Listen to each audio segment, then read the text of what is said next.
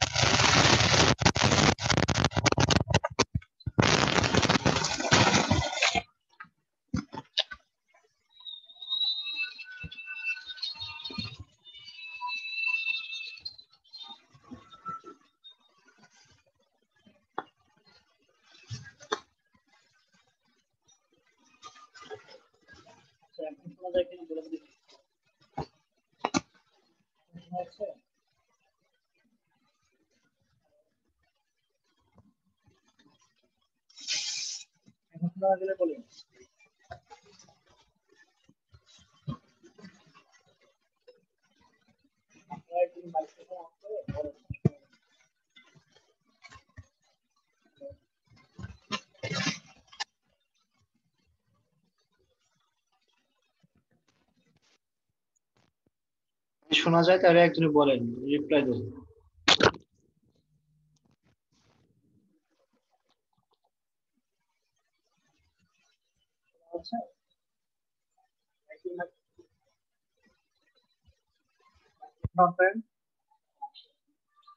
Sir আপনার কথা তো শোনা যায় না। হ্যাঁ একটু এখন শোনা যাচ্ছে? জি স্যার শোনা যায়। অল্প না বেশি? স্যার অল্প। আচ্ছা ঠিক আছে। শুনতে পাচ্ছি শুনতে পাচ্ছেন? হ্যালো জি স্যার শুনতে পাই। আচ্ছা ঠিক আছে তাহলে ক্লাস কন্টিনিউ করি। তো অর্থ সম্বন্ধে প্রথমে আমরা ধারণা নিয়ে নিই। অর্থ অর্থের মূল্য কি? আমরা প্রথমে দেখি। সময়ের সাথে সময়ের সাথে সাথে, সময়ের সাথে সাথে অর্থের মূল্যে যে পরিবর্তন ঘটে, তাকে অর্থের সময় মূল্য বলে। তারপর হচ্ছে অর্থের মূল্যের পরিবর্তন কেন হয়, এটা আপনাদের নবী থেকে আসতে পারবে। সেটা হচ্ছে সুদের হার কারণে, যে বর্তমান মূল্য এবং ভবিষ্যৎ মূল্যের মধ্যে যে পার্থক্য হয়, সেটা মূলত সুদের হারের কারণে হয়, অন্য কোনো কারণে না, হয় না।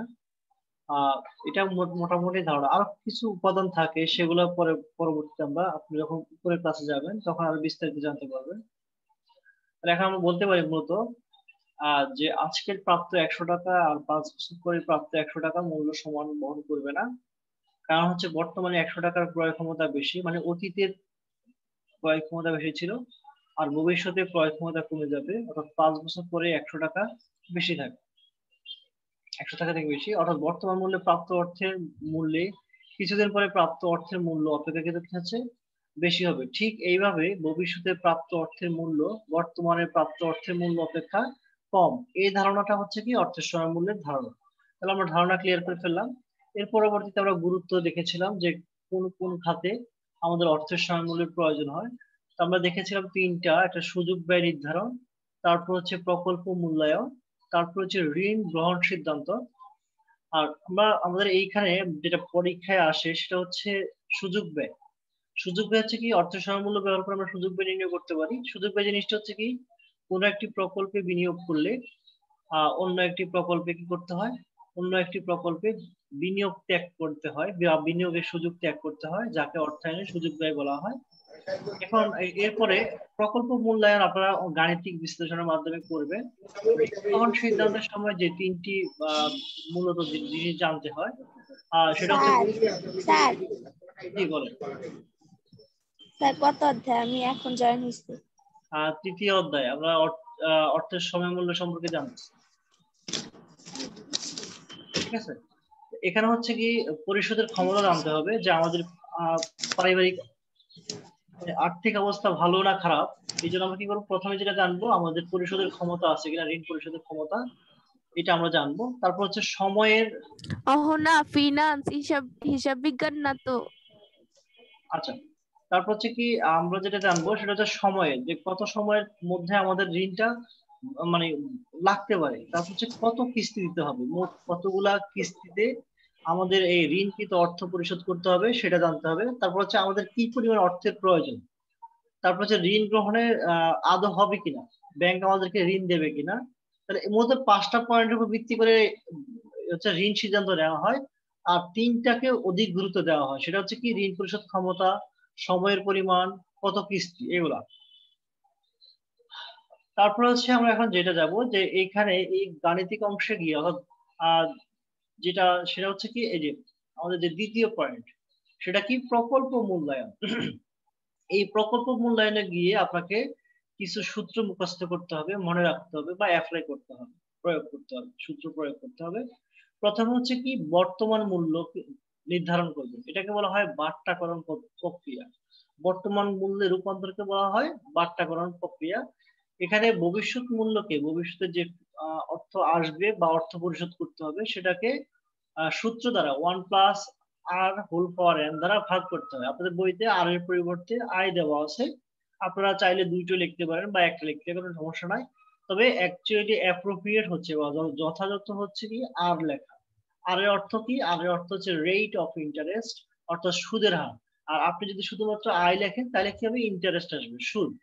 এই ক্ষেত্রে আপনি যখন পরবর্তী অঙ্ক করবেন অ্যাকচুয়াল এনিউয়ার রিড বাইট করবেন, সেখানে গিয়ে আপনাকে একটা- একটা ঝামেলায় পোয়াতে হবে। ঠিক আছে? সেখানে গিয়ে আপনি অন্য কিছু লিখবেন, ঝামেলা হয়ে যাবে। এখানে পিভি হচ্ছে প্রেজেন্ট ভ্যালু বর্তমান মূল্য। এফবি হচ্ছে ফিউচার ভ্যালু তারপর হচ্ছে আর মানে হচ্ছে রেট অফ ইন্টারেস্ট আপনি চাইলে বইয়ের মতো করে আয় লিখতে পারেন। আর এন মানে হচ্ছে নাম্বার অফ ইয়ার বা নাম্বার অফ পিরিয়ড আপনি যা লিখেন। তারপর আর একটা সূত্র হচ্ছে এফবি বা ফিউচার ভ্যালু বর্তমান মূল্য জানা আছে, ভবিষ্যৎ মূল্য কত কত হবে, এটা জানার জন্য আমরা ফিউচার ভ্যালু বা এটাকে চক্রবৃদ্ধিকরণ সূত্র বলা হয়। প্রথমটা ছিল বাট্টাকরণ, আর এটা হচ্ছে ভবিষ্যৎ মূল্য নির্ধারণ বা চক্রবৃদ্ধিকরণ। এখানেও ফিগারগুলো সেম ফিগার এখন আসি মাঝে মাঝে যখন আপনাকে বাৎসরিক হারে না দিয়ে মাসিক, দৈনিক, সাপ্তাহিক, তারপর হচ্ছে আপনাকে পাক্ষিক তিন মাস পর পর, চার মাস পর পর দেওয়া হবে বা ছয় মাস পর পর সুদ দেওয়া হবে। বা সুদ দিতে হবে, সেক্ষেত্রে আমরা কি করব? এই প্রথম সূত্রগুলো ব্যবহার না করে পরবর্তীতে এই সূত্র ইউজ করব। এখানে কি হচ্ছে? রেট অফ ইন্টারেস্ট মানে আর কে হচ্ছে এম দ্বারা ডিভাইডেড করা হয় ভাগ করা হয়।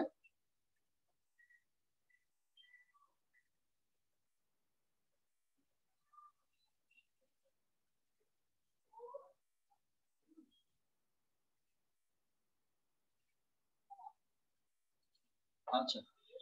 এক্ষেত্রে হচ্ছে আমরা আপনাদের বইতে আয় লেখা আছে, আপনি চাইলে আর লিখতে পারেন, কোনো সমস্যা নেই, আমি দুইটো ইউজ অ্যাপ্লাই করেছি। আই মানে হচ্ছে কি, এখানে হচ্ছে রেট অফ ইন্টারেস্ট তারপরে এম ইন্টু এন হবে, অর্থাৎ সুদের হারকে মাস দ্বারা বা কিস্তি দ্বারা ভাগ করব আর নাম্বার অফ ইনস্টলমেন্ট আর কি, কিস্তি কিস্তি দ্বারা আমরা ভাগ করব, এবং কিস্তিকে সময় দ্বারা গুণ করব, যে বছরে কয়বার কিস্তি দিতে হয়। অনুরূপভাবে ফিউচার ভ্যালুতে এসে আমরা সেম জিনিস করব। সেটা হচ্ছে এফ বি ফিউচার ভ্যালু সমান PV into one plus r by m whole power m n এই সূত্র প্রয়োগ করে আমরা ভবিষ্যৎ মূল্য বা চক্রবৃদ্ধিকরণ করে থাকব। তাহলে প্রকৃত সুদের হার সম্পর্কে আজকে আমরা আলোচনা করব। এর আগে যেটা আলোচনা করেছি, সেটা হচ্ছে সম্পূর্ণ আমাদের অতীত আলোচনা। আজকে আমরা যেটা আলোচনা করব, সেটা হচ্ছে আজকে থেকে এখান থেকে আমাদের নতুন ক্লাস শুরু। যেহেতু এই অধ্যায় শুধু গাণিতিক অংশ, এই জন্য বেশি সমস্যা নাই। আচ্ছা। তাহলে প্রথমে আমরা জানি প্রকৃত সুদের হার কি। সেটা হচ্ছে ধরেন একজন ব্যক্তি আপনাকে বলল যে আপনি আমাকে সপ্তাহে এক টাকা করে সুদ দিবেন একশো টাকা নিলেন। সে ব্যক্তি বলল যে আপনি আমাকে সপ্তাহে এক পার্সেন্ট হারে চক্রবৃদ্ধিকরণের সুদ দিবেন তাহলে আমরা যদি দেখি, তাহলে হচ্ছে কি বাউন্ন সপ্তাহে বাউন্ন টাকা হয়। কিন্তু যেহেতু চক্রবৃদ্ধিকরণ বলেছে, তাহলে আমাদেরকে জানা উচিত যে যে লোকটা আমাকে বলছে এক পার্সেন্ট হারে সুদ দিতে হবে সে আসলেই কথা বলছে। মানে মুখে যা বলছে বা কাগজে কলমে যা আছে অ্যাকচুয়ালি কাজ কি আছে? মানে প্রকৃত পক্ষে কি কত হবে? এটা জানার জন্য আমরা যে সূত্রটা প্রয়োগ করব, এটাকে বলা হয় প্রকৃত সুদের হার বা ইফেক্টিভ অ্যানুয়াল রেট আমরা একটা অঙ্ক করি এই অঙ্কটা, যে আমাকে বলা হয়েছে এক পার্সেন্ট চক্রবৃদ্ধি সুদকে গ্রহণ করা হলো। এক বছরে হচ্ছে বাউন্ন সপ্তাহ হিসাব করে আমাকে সুদ হওয়ার কথা ছিল বাউন্ন পার্সেন্ট কিন্তু আমি এখন দেখব যে আসলে আমাকে কত দিতে হচ্ছে? তাহলে এক্ষেত্রে আমরা ইএআর ইফেক্টিভ অ্যানুয়াল রেটের সূত্রটা প্রয়োগ করব। সেক্ষেত্রে হচ্ছে সূত্রটা হচ্ছে one plus i by m whole for হচ্ছে এম এম দিয়ে কি হচ্ছে? আই কে মানে রেট অফ ইন্টারেস্ট কে ভাগ করা হয়েছে। দেখছেন এখানে সেম জিনিসটা চলে আসবে। ঠিক আছে? একটু ঝামেলা পড়ে যাবেন আপনারা। তাহলে হচ্ছে কত আসে? আমরা i by m whole for m দিব মাইনাস ওয়ান তাহলে সেক্ষেত্রে আমার আইটা হচ্ছে কত? আইটা হচ্ছে এক সপ্তাহে ওয়ান পার্সেন্ট মানে আমরা বের করব তো পয়েন্ট জিরো ওয়ান ইন্টু বাহান্ন, তাহলে কত আসবে বাহান্ন সপ্তাহে বাহান্ন পার্সেন্ট মানে বাহান্ন পয়সা আসবে, ঠিক আছে? তারপরে সেটাকে আমরা বাহান্ন দিয়ে ভাগ দেব, আবার পাওয়ার করব বাহান্ন, তাহলে কত আসবে? সেখান থেকে আমরা মাইনাস ওয়ান লিখব, তাহলে ওয়ানের ওয়ান এটা দিয়ে ভাগ করলে কত আসে? পয়েন্ট জিরো ওয়ান আসবে, শূন্য দশমিক পাঁচ দুই কি আমরা যদি বাহান্ন দিয়ে ভাগ করি, তাহলে আসবে কত? শূন্য দশমিক শূন্য এক তাহলে শূন্য দশমিক শূন্য এক যোগ এক যোগ করলে কত আসে? ওয়ান পয়েন্ট জিরো ওয়ান আসে। এটাকে হোল পাওয়ার ফিফটি টু করলে কত আসে? আমাদের আসে one point six seven seven six eight আসে। সেখান থেকে আমরা ওই যে সূত্রের ওয়ান মাইনাস করব, তাহলে কত আসবে? Zero point six seven seven six eight আসবে। তো সেটাকে আমরা যেহেতু পার্সেন্টেজে রূপান্তর করব, তাহলে একশো দ্বারা গুণ করলে আমাদের আসবে কত? সাতষট্টি দশমিক ছিয়াত্তর মানে সাত, ছয়, আট পার্সেন্ট আসবে তাহলে দেখেন, আমাকে বলা হয়েছে সপ্তাহে এক পার্সেন্ট কিন্তু আমি দেখলাম যে সপ্তাহ হিসাব করলে আমার বাউন্ন পার্সেন্ট আসার কথা। কিন্তু চক্রবৃদ্ধি হওয়ার কারণে আমাকে অ্যাকচুয়ালি দিতে হচ্ছে কত? সাতষট্টি টাকা মানে প্রায় আটষট্টি টাকা দিতে হচ্ছে। অর্থাৎ আমি একশো টাকা ঋণ করে আমি তাকে মানে একশো আটষট্টি টাকা ফেরত দিতে হচ্ছে। তাহলে আসলে মুখে যা বলছে, কার্যত তা না। এই ক্ষেত্রে আপনাদের তৃতীয় অধ্যায়ে সবচেয়ে ভয়ঙ্কর বলতে পারেন এ অঙ্ক ঠিক আছে? অনেক ক্ষেত্রে আপনাদেরকে বলবে মাসিক বলে দেবে। মাসিক বললে আপনারা ইয়ে করবেন এখন আপনারা একটু খাতা কলম নেন। ঠিক আছে? একটু খাতা কলম নেন। আমার সাথে একটু লিখে ফেলেন।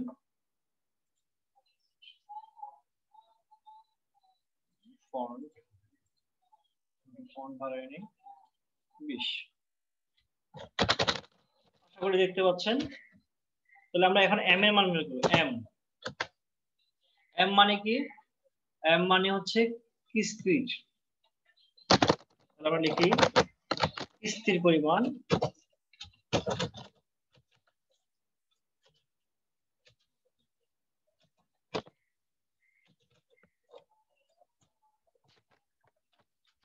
লেখেন কিস্তি পরিমাণ আমরা নির্ধারণ করব। যদি বলা হয় কি বলা হয়? দৈনিক বলা হয়। দৈনিক যদি বলে, তাহলে আমরা লিখব দৈনিক হচ্ছে এম এর মান হচ্ছে কত? তিনশো পঁয়ষট্টি। তিনশো পঁয়ষট্টি আমরা দৈনিক লিখব। যদি বলা হয় পাক্ষিক, কি বলবে? পাক্ষিক বলবে। তাহলে সেক্ষেত্রে হচ্ছে কত? পনেরো দিনে এক পক্ষ, অর্থাৎ তিনশো ষাটকে আপনি ভাগ দিবেন হচ্ছে পনেরো দিয়ে। তাহলে সম্ভবত চব্বিশ আসবে। ঠিক আছে? সম্ভবত চব্বিশ আসবে। আপনারা একটু ক্যালকুলেটর দিয়ে করে নেবেন। তিনশো ষাট ভাগ হচ্ছে পনেরো। তাহলে আসবে কত? চব্বিশ আসবে। ঠিক আছে? পাক্ষিক মানে হচ্ছে পনেরো দিনে এক পক্ষ। আচ্ছা আমরা ধারাবাহিক ভাবে যাই। তাহলে আমরা সাপ্তাহিক দিই। সাপ্তাহিক সাপ্তাহিক যদি বলে, তাহলে সেক্ষেত্রে হচ্ছে আমরা তিনশো ষাটকে সাত দিয়ে ভাগ দিব। তাহলে সাত দিয়ে ভাগ দিলে কত আসবে? তিনশো ষাট দিয়ে ভাগ দিলে কত আসে বলুন দেখি? বাউন্ন সপ্তাহে হচ্ছে এক বছর। বাউন্ন সপ্তাহে এক বছর হবে। তিনশো ষাট ভাগ সেভেন, তাহলে আমাদের উত্তর আসবে কত? বাউন্ন সপ্তাহ আসবে। বাউন্ন সপ্তাহে আমরা এক বছর লিখব। আপনারা চাইলে এখানে এটা জায়গায় তিনশো পঁয়ষট্টি দিনও দিতে পারেন। কোনো আপত্তি নাই। মানে বাহান্ন সপ্তাহে এক বছর হয়, বাহান্ন সপ্তাহে। তাহলে এখানে তিনশো পঁয়ষট্টি দেন। আচ্ছা। তারপরে পাক্ষিক তো আমরা আগে বের করেছি, পনেরো দিনে এক পক্ষ। তারপরে কাজ হচ্ছে মাসিক যদি বলে আমাকে মান্থলি বলে, তাহলে আমরা লিখি মাসিক। মাসিক বললে হচ্ছে এম এর মান হচ্ছে কত? বারো। তাহলে বারোকে আপনি এই বারো ভাগ এক, তাহলে হচ্ছে কত? বারোই আসবে। তারপরে আসেন আমরা যেটা জানব, সেটা হচ্ছে কি? তিন মাস পর পর যদি বলে আমাকে, তিন মাস পর পর যদি বলে, তাহলে সেক্ষেত্রে আমি কি করব? বারো ভাগ তিন, তাহলে ইকুয়াল টু আসবে চার। যদি আমাকে বলে চার মাস পর পর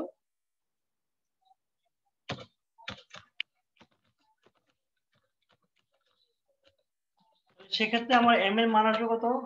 বারো হবে সরি বারো ভাগ তিন। যদি আমাকে বলে চার মাস পর পর সেক্ষেত্রে বারো ভাগ চার হবে, তাহলে ইকুয়াল টু আসবে থ্রি এই হচ্ছে আমার আপাতত মান। আরেকটা মান আছে আমার, সেটা হচ্ছে যদি বলা হয় ছয় মাস পর। আমরা লিখি ছয় মাস পর পর। তো সেক্ষেত্রে আমার মাস আসবে কত? বারো ডিভাইড বাই সিক্স তাহলে ইকুয়াল টু আসবে টু এই হচ্ছে আমার আপাতত মান।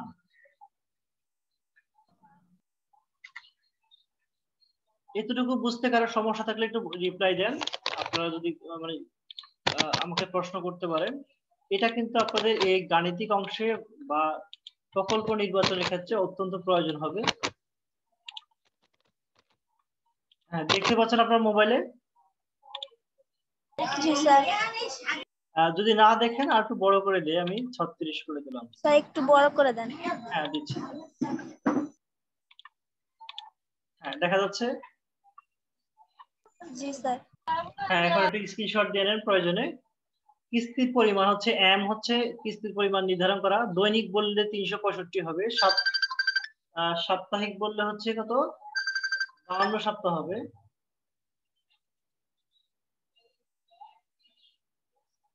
ভাই আমি ক্লাসে আছি ক্লাসে কল করুন। আমি ক্লাসে আছি ক্লাসে ক্লাসে পড়াশোনা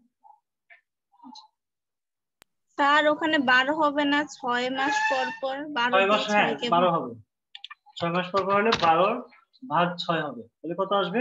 টু আসবে। তাহলে কিস্তির পরিমাণ আমরা এইভাবে নির্ধারণ করব। এর বাহিরে কোনো মান আসলে আপনাদের অঙ্কে আসবে না।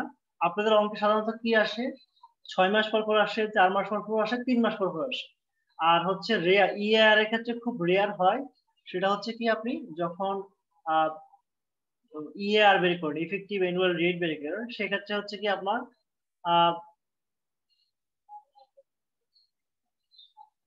সেক্ষেত্রে হচ্ছে কি আপনাকে যেটা করবে, সেটা হচ্ছে মাসিক আসতে পারে, সর্বশেষ, ঠিক আছে? এর বাইরে কোনো মান আপনাদের আসলে মেট্রিকের লেভেলে নিয়ে বুঝছেন? বাকিটা হচ্ছে কি আপনাদের যেটা ইন্টারে যাবেন তখন সেক্ষেত্রে আপনাকে এটা আসবে এতটুকু বুঝতে পেরেছেন আপনারা? আচ্ছা আমি এটা চেটে দিয়ে দিচ্ছি আপনাদেরকে।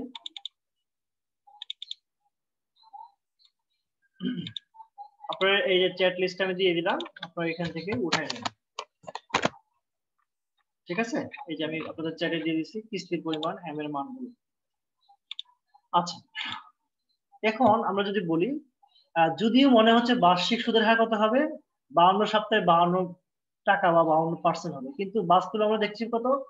সাতষট্টি পয়েন্ট সাত ছয় আট পার্সেন্ট অর্থাৎ প্রায় আটষট্টি টাকার মতো হচ্ছে। যেহেতু পাঁচ কিংবা পাঁচের বেশি হলে এক যোগ হয় পূর্ব সংখ্যার সাথে। তাহলে কত হলো আমাদের? দেখেন, সে ব্যক্তি আমাকে বলছে ওয়ান পার্সেন্ট কিন্তু আসলে আমার কাছ থেকে নিচ্ছে কত? নিচ্ছে হচ্ছে সাতষট্টি পার্সেন্ট আমার কাছ থেকে বা আটষট্টি পার্সেন্ট আমার কাছে সুদ নিচ্ছে। তাহলে এটা বড় সুদখোর আর যারা হচ্ছে সুদের সাথে যুক্ত, তাদের সম্পর্কে ইসলামী শরিয়া আইনে কঠোর নির্দেশনা প্রদান করা হয়েছে এবং বলা হয়েছে তারা যেন আল্লাহ এবং আল্লাহ রাসুলের সাথে যুদ্ধ করার জন্য প্রস্তুতি নেয়। এখন চিন্তা করে দেখেন, আল্লাহ এবং আল্লাহ রাসুলের সাথে যুদ্ধ করে কেউ আজ পারছে বা পারবে? ফেরাউনের মতো নমরুদ, হামান হ্যাঁ? আবু জাহেল তো বড় শয়তান ছিল, পারছে, পারে নাই। সুতরাং আপনি সুদকে বর্জন করবেন বাস্তব জীবনে। আমরা জাস্ট গাণিতিক অংশ হিসাবে আমাদের পড়াশোনার পাঠের অংশ হিসাবে আমরা শিখ- রাখছি যেন অন্য কেউ আমাদেরকে কোনো প্রকারের সুদ গ্রহণ করাইতে না পারে, আমরা সেই চেষ্টা করব। যদি অনিচ্ছাকৃত ভুল হয়ে যায়, তাহলে আল্লাহ ক্ষমাশীল। তবে আমরা চেষ্টা করব যেন সুদ আমাদের জীবনে না আসে। আচ্ছা এখন আমরা বইতে কি আছে আমরা দেখি। গ্রামীণ মহাজন থেকে সাপ্তাহিক এক পার্সেন্ট চক্রবৃদ্ধি সুদ গ্রহণ করলে বার্ষিক বা নামিক। তাহলে এখানে একটা জিনিস করে রাখেন, নামিক হিসাব। আপনাদের অ্যাকাউন্টিং এ আগে যেটা ছিল সম্পত্তি বাচক হিসাব ব্যক্তি বাচক এবং নামিক হিসাব ছিল। নামিক মানে বাৎসরিক, অর্থাৎ মুনাফা জাতীয় লেনদেন, যেটা হচ্ছে হিসাব বিজ্ঞানের তৃতীয় অধ্যায় আছে। তাহলে এটা একটু দাগায় নেন। বার্ষিক মানে হচ্ছে নামিক, নবীর থেকে আসতে পারে। তাহলে বার্ষিক বা নামিক সুদের হার কত? বাহান্ন পার্সেন্ট বা বাহান্ন হয় মানে ওয়ান পার্সেন্ট ইন্টু বাহান্ন, তাহলে বাহান্ন পার্সেন্ট হবে। কিন্তু অর্থাৎ বাহান্ন বার চক্রবৃদ্ধি হলে প্রকৃত সুদের হার কত ভিন্ন হয়ে যাচ্ছে। নিম্নলিখিত সূত্র মানে ইফেক্টিভ অ্যানুয়াল রেট মানে কার্যকর সুদের হার। কার্যকর বাৎসরিক সুদের হার আমরা বের করব, যে আমাদেরকে যা বলা হয়েছে আসলে কি তা মানে আমাদের কাছে যা বল- বলছে তা নিচ্ছে কিনা, বা তার থেকে বেশি নিচ্ছে কিনা, এটার জানার জন্য আমরা ইফেক্টিভ অ্যানুয়াল রেট সূত্রটি প্রয়োগ করে আমরা প্রকল্প নির্ধারণ করতে পারব, বা যে ব্যাংক বা ঋণদানকারী প্রতিষ্ঠান আমাদের সাথে আসলে কোনো ধোকা বা দুই নম্বরই করছে কিনা, এটা আমরা জানতে পারব। এবার আসি আমরা যেহেতু গাণিতিক অংশগুলো আল- আলোচনা শেষ, আমরা এখন মূল্যায়নে চলে যাই। আপনারা একটু এক একজন করে আমাকে প্রশ্নগুলো উত্তর দেন। অর্থের সমমূল্য কি একটু বলেন দেখি। এনিওয়ান সৎ সাহস করে বলে ফেলেন। অহনা, বলো দেখি। সবাই একটু আনমিউট করে ফেলেন। লজ্জা পাওয়ার কিছু নাই। হ্যাঁ বলেন। মন বলো দেখি। মন। মন অহনা দুজনে একদম। অর্থ সমমূল্য কি? আমাকে এক লাইনে বলো। মানে আহ, জ্ঞান মূলকে যদি আসে সময়ের হ্যাঁ বলো। সময়ের সাথে সাথে যে অর্থের পরিবর্তন হয়ে থাকে তাকে অর্থ অর্থের মূল্য বলে। আবার বলেন দেখি। সময়ের সাথে সাথে অর্থের মূল্যের যে পরিবর্তন হয়ে থাকে, তাকে সমমূল্য অর্থের সমমূল্য বলে। এক্সিলেন্ট আপনি পারছেন। আপনি মনোযোগ সহকারে পড়ছেন। থ্যাংক ইউ আচ্ছা তারপরে আমরা যাই। সুযোগ ব্যয় কাকে বলে? বলেন দেখি একজন বলেন। আমাকে সুযোগ ব্যয় কাকে বলে? মন তো বলেছে। নুসরাত বলে দেখি। লাইনে আসো হ্যাঁ আচ্ছা- আচ্ছা অহনা বলো। সুযোগ ব্যয় কাকে বলে? বলো।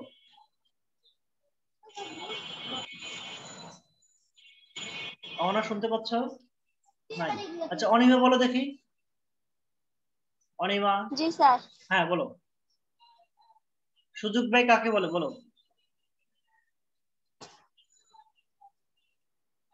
বলো।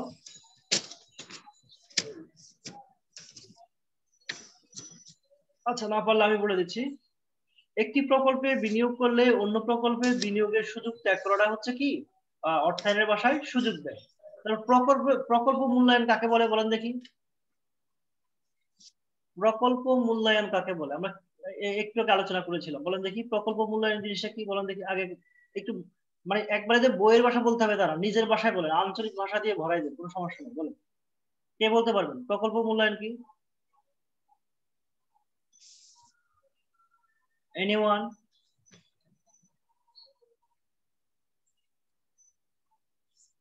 কেউ পারেন নাই। প্রকল্প মূল্যায়ন নিতে আজকে আলোচনা করলাম। আপনারা কি আজকের পার্টটা বুঝতে পারেন নাই? না বুঝলে আমি আবার রিপিট করব কোনো সমস্যা নেই। বলেন দেখি।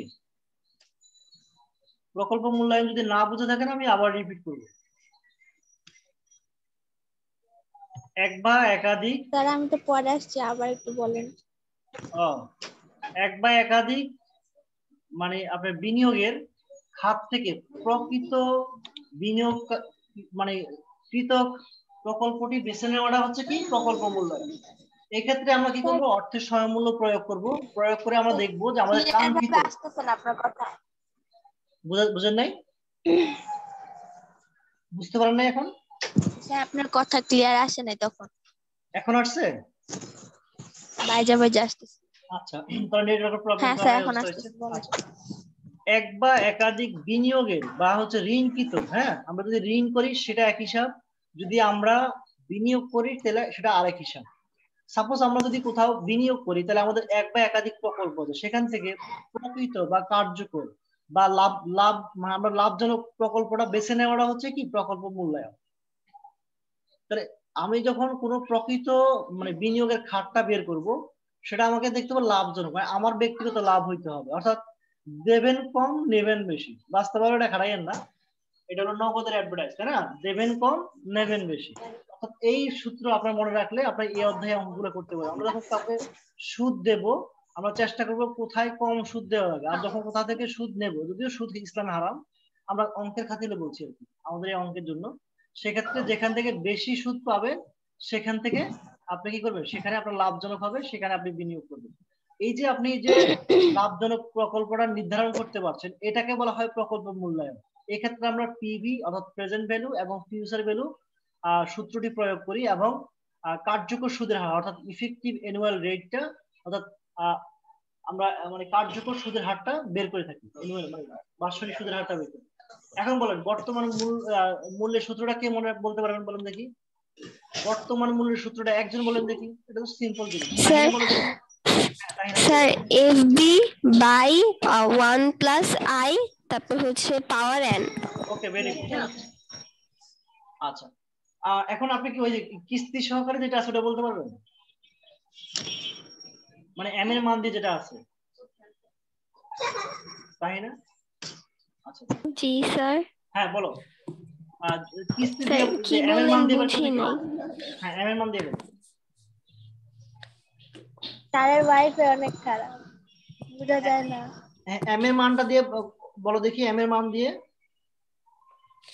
এম এর মান? হ্যাঁ এম এর মান হচ্ছে কি? F V divided by one plus i by m whole power n into m ঠিক আছে মনে থাকবে? জি স্যার। আচ্ছা এখন আমরা তারপরে হচ্ছে ভবিষ্যৎ আহ, যে মূল্য আছে তার সূত্রটা বলেন দেখি একজনে। ভবিষ্যৎ মূল্যের সূত্রটা একজনে বলেন দেখি। Sir PV PV into one plus i by m whole n into m okay very good এখন তারপরে আমরা যেটা যাব সেটা হচ্ছে কি ই আর এর পূর্ণরূপ কি বলেন দেখি? ই এ আর এর পূর্ণরূপ কি বলেন? আমি বারবার বলেছিলাম দেখি মনে আছে কিনা আপনাদের। ই এ আর এর পূর্ণরূপ কি? ইফেক্টিভ অ্যানুয়াল রেট বলেন। Effective annual rate effective annual rate হ্যাঁ। তারপরে বলেন দেখি প্রকৃত সুদ কি? এই বলে দিয়েছি। হ্যাঁ বলেন দেখি প্রকৃত সুদ কি? প্রকৃত সুদ জিনিসটা কি? আমরা যা ইয়ে আর পড়লাম। হ্যাঁ প্রকৃত সুদটা কি বলেন দেখি?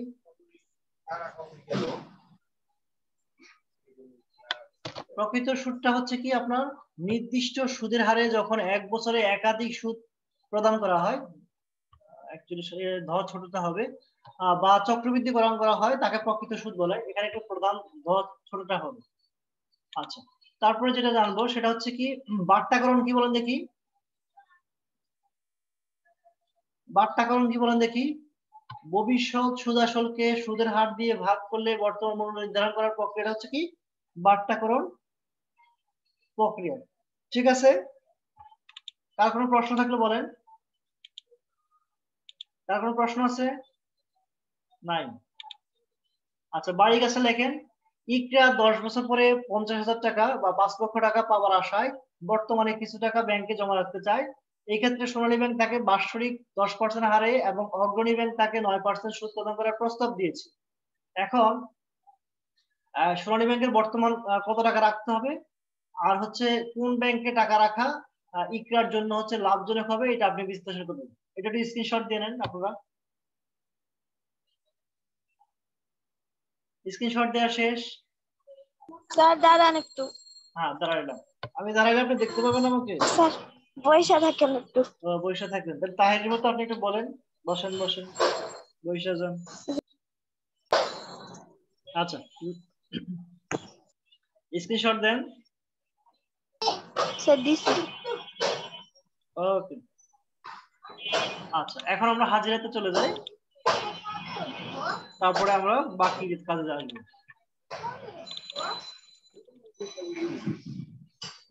আজকে হচ্ছে গিয়ে সাতাশ সতেরো তারিখ।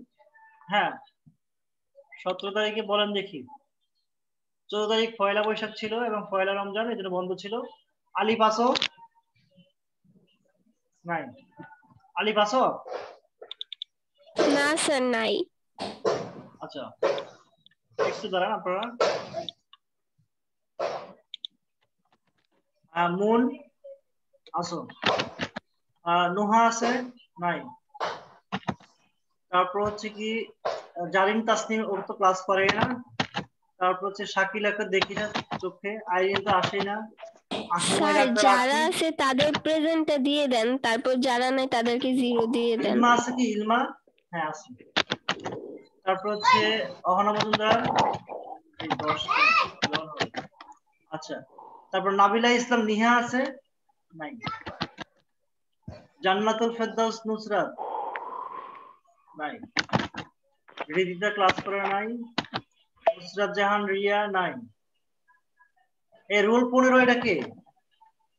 নুসরাত জাহান বিতি তুমি? নুসরাত জাহান রিয়া নাই। ফুল নাম লিখবেন। সাদিয়া আক্তার তানিশা আছে? নাই। আচ্ছা নুসরাত জাহান বিথি আছে। স্বর্ণালী আক্তার নাই। নুসরাত জাহান মিম। এই যে নুসরাত লিখলে আমি চিনব কীভাবে? এই রুল সতেরো আছো? আমেনা আক্তার অনিমা। নাই। জামান নাই। ঐশী আসো তাসনিম ইসলাম ঐশী।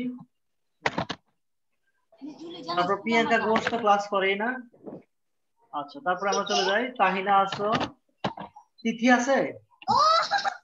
তিথি? হ্যাঁ স্যার আছে। জি স্যার আছি। আছেন আপনি? কি না- কি কত নম্বর? আবার আবার ইয়া করেন। হ্যাঁ তিথি আছে দেখছি। তারপর হচ্ছে সাদিয়া ইসলাম রিয়া রিয়া কোথায়? আছি আচ্ছা ভেরি গুড আমার নবম তিনের স্যার ইয়া ঘুমায় ঘুমায় ক্লাস করে। না। দেব না অর্পি আছে অর- এ অর্পি তো মাঝখানে ক্লাস করতে এখন কি ওর? জেরিন আক্তার আছে জেরিন আক্তার? না স্যার। আয়সা আক্তার স্বপ্ন আব্বু তো বলছিল ক্লাস করবে ও তো আসতেছে না। আছি তো স্যার আমি আছি তো কই আপনি দেখি আবার কথা বলেন। দেখবেন কীভাবে। আপনি তো ও স্বপ্নে। আচ্ছা স্বপ্ন। আপনি ক্লাস করেন আচ্ছা। তারপর হচ্ছে কি স্বাধীন তো মাঝখানে ক্লাস করতে এখন স্বাধীন আছে? নাই। এখন কোচিং করে? না। আচ্ছা সাদি একটা সমস্যা। Mariyam Akter okay very good তো এতক্ষণ যারা মনোযোগ সহকারে ক্লাস করছেন সকলকে ধন্যবাদ। স্যার আসসালামু আলাইকুম। ওয়ালাইকুম আসসালাম। সকলের সুস্বাস্থ্য কামনায় আল্লাহ হাফেজ। আসসালামু আলাইকুম। আসসালামু আলাইকুম। ওয়ালাইকুম আসসালাম। আসসালামু আলাইকুম। ওয়ালাইকুম আসসালাম। ভালো থাকবেন সবাই আসসালামু আলাইকুম। আর কোনো প্রশ্ন থাকলে আমাকে ইমোতে জানাই দিয়ে কোনো সমস্যা নাই। আপনাদের ইমো গ্রুপে যদি কেউ বাইরে থাকে ইমোতে গ্রুপে আমাকে একটু নক দিয়ে বা আপনারা নিজেরা অ্যাড দিয়ে নিন। ঠিক আছে? আপনাদের যে ব্যাস আছে ব্যাচে যুক্ত করে দিন। ওকে ঠিক আছে ভালো থাকবেন।